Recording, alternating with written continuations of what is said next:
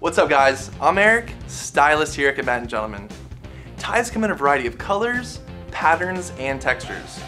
You can usually choose your tie based on your outfit and the occasion you're attending. It's easy to keep your tie collection small if you want. I'm gonna go over four ties that'll get you from the office, to your best friend's wedding, to a night out, and even your next big job interview.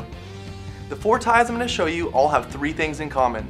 Number one, you can wear any of them with a blue or white dress shirt.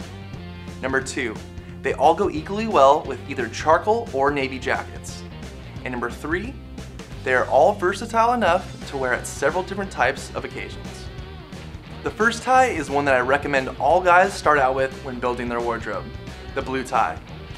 They're a staple. Solid blue ties are great for job interviews. You can even go with a blue tie with a subtle pattern or texture to give your outfit a little bit of flair.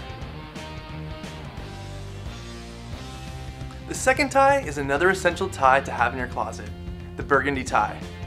A timeless and classic piece that will come across as bold and confident. Burgundy is a little less bright and less aggressive than other reds you can go with. It's also another excellent tie for an interview.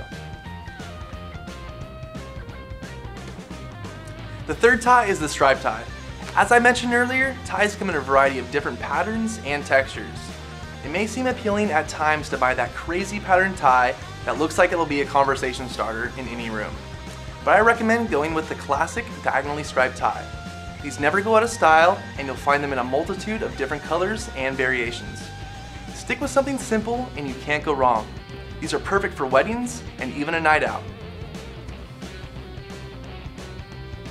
The fourth tie is the solid black texture tie. A black texture tie is ideal for more formal gatherings like black tie events and galas. It's definitely one that you'll want to have in your collection for these rare occasions. So there you go, your tie arsenal is complete. These are your must-have ties. Once you have these, have some fun and try in some bolder colors and patterns. As always, thanks for tuning in. Have a question you want answered? Drop it in the comment section below and we'll get right on it. You want to see more videos like this? Hit like and don't forget to subscribe. See you next time.